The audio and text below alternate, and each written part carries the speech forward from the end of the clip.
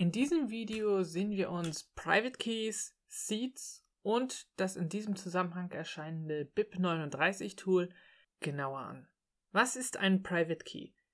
Nun, wenn die Bitcoin oder jede beliebige andere Kryptowährungsblockchain ein Kassenbuch ist, dann ist ein Private Key, Key diejenige Möglichkeit, Zugriff auf Änderungen in dieser Datenbank ausführen zu können. Im Prinzip ist ein Private Key nichts anderes als eine 256-Bit-Binär-Zahlenfolge bestehend aus Nullen und Einsen, also eine 256-stellige Kette, die nur aus Nullen und Einsen besteht. Diese lässt sich auch alphanumerisch darstellen, indem man statt Nullen und Einsen nun die Großbuchstaben und Kleinbuchstaben von A bis Z und die Zahlen von 0 bis 9 verwendet. Dies ist das sogenannte WIF Wallet Import Format es ist 51-stellig statt 256-stellig, folgt dem Base 58 Format und fängt in der Regel mit der 5 an. Natürlich lässt sich die 256-Bit-Zahlenfolge auch als 32 Byte-Zahl darstellen oder im Hexadezimalformat als Blöcke mit den Zahlen von 0 bis 9 und den Buchstaben A bis F. Die häufigste Darstellung von Private Keys ist allerdings das WIF-C-Format. Diese ist 52-stellig, also etwas länger als das WIF-Format, was wir hier sehen. Und es folgt auch dem Base 58-Format, beginnt aber mit den Buchstaben K oder L. Private Keys werden in der Regel von deinem Wallet generiert und aufgrund der Tatsache, dass es sich um einen 256-stelligen Binärcode handelt, gibt es also 2 hoch 256 verschiedene Private Keys. Diese Zahl ist unfassbar groß und entspricht in etwa der Anzahl der Atome im Universum. Diese große Menge an Private Keys ist nötig, um zu verhindern, dass eine Person den Key einer anderen Person zufällig generieren kann. Es ist daher wichtig, dass du deine Private Keys natürlich stets geheim hältst. In verschiedenen Videos habe ich dir bereits weitere Möglichkeiten gezeigt, wie du bei bestimmten Wallets, zum Beispiel Exodus, deine Private Keys einsehen kannst. Wenn du statt Exodus oder Jax, was ich in diesen Demo-Videos verwende, stattdessen ein Core-Wallet verwendest, kannst du als über den Konsolenbefehl dump private key und dann mit der entsprechenden Adresse als Argument dir den zu dieser Adresse gehörigen Private Key ausgeben lassen. Wenn dir ein Private Key vorliegt, hast du zwei Möglichkeiten, den Private Key und die damit verbundenen Funds, sobald diese mit zum Beispiel Kryptowährung bestückt sind, nutzbar zu machen. Die eine Möglichkeit ist das Sweeping, die andere ist der Import.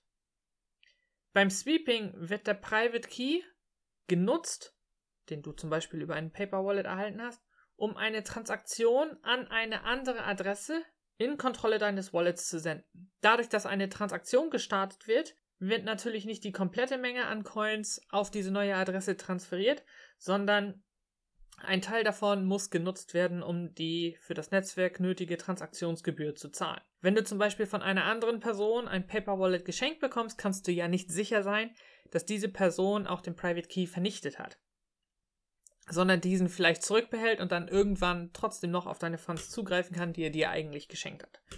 Deswegen wird empfohlen, erhaltene Paper Wallets von dritten Personen stets zu sweepen. Die andere Möglichkeit ist der Import. Bei dem Import wird der Private Key einfach deinem Wallet hinzugefügt und dieser kann dann normal verwendet werden.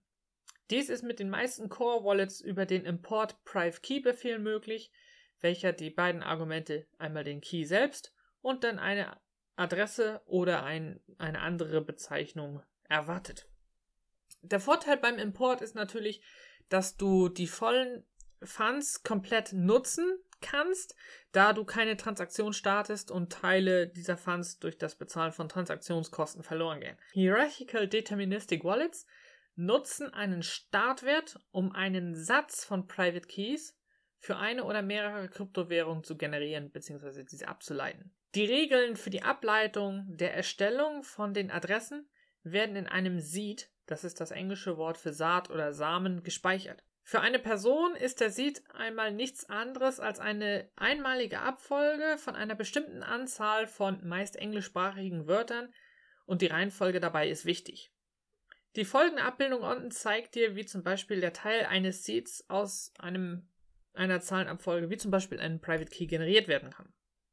Hier sehen wir eine mehrstellige binäre Abfolge von Zahlencode und davon werden jetzt genau 11 Bits verwendet, also hier dieser Abschnitt.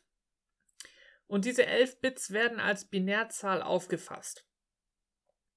Diese 11 Bits entsprechen 1390, ne? Also es kommt kein Einer vor, es kommt ein Zweier vor, es kommt ein Vierer vor, es kommt ein Achter vor, es kommt kein 16er vor, ein 32er, ein 64er, kein 128er, ein 256er, kein 512er, aber ein 1024er.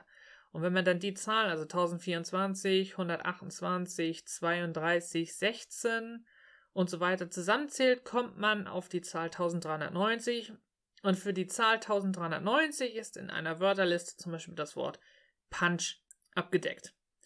Und auf diese Weise wird dann die Zahlenfolge komplett in, nach der Wortliste in einzelne Wörter übersetzt.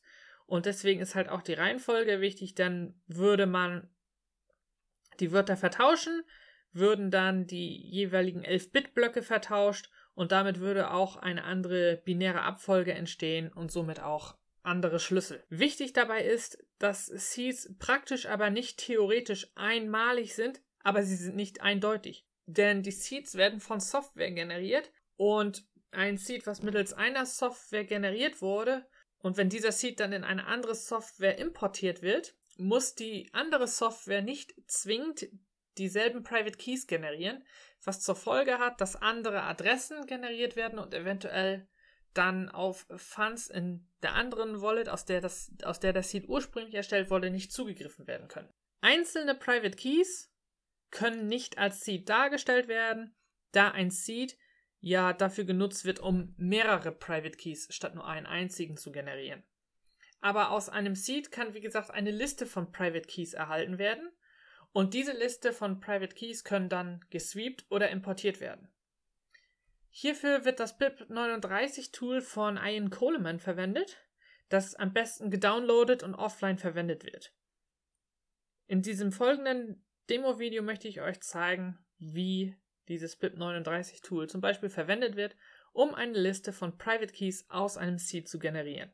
Um zu zeigen, wie das BIP39-Tool verwendet wird, kopiere ich nun einmal diesen Seed hier und füge den dann in das BIP39-Tool ein. Dies ist die Online-Darstellung des BIP39-Tools von Ian Coleman.